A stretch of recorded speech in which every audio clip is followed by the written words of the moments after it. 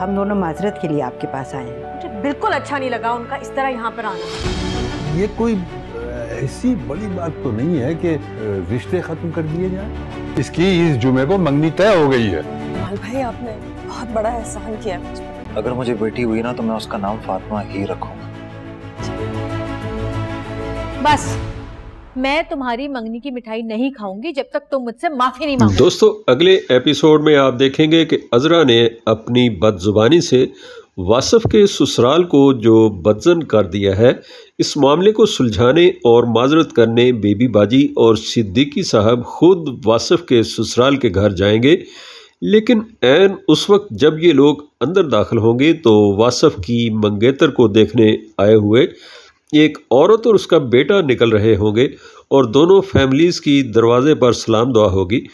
इस बार अगरचे वासफ के ससुराल मामले को संभाल लेंगे और वासफ की होने वाली सास शाइस्ता बेगम इन लोगों के यूँ बिन बुलाए और बेवक्त देखने आने पर खफा भी होगी और कहेगी कि मुझे बिल्कुल अच्छा नहीं लगा, इनका इस तरह यहाँ पर आना।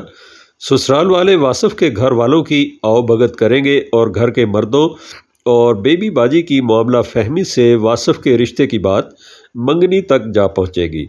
और वासफ के वालद मिठाई लेकर घर वापस आएँगे, लेकिन अजरा को इस खिलाफ तो बात पर फिर आग लगेगी और वो सबको खुश होता देखकर वासफ को पुराने मामले पर मुआफ़ी मांगने को कहेगी। इधर वलीद और हमसाई की बेटी सुमन में हल्की फुल्की मोहब्बत और छेड़खानी चल रही है।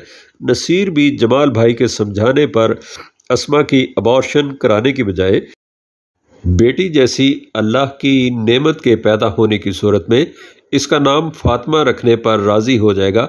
यूँ असमा का एक बहुत बड़ा मसला भी हल हो जाएगा। तो दोस्तों, हम उम्मीद करते हैं कि आपको हमारी ये वीडियो पसंद आई होगी।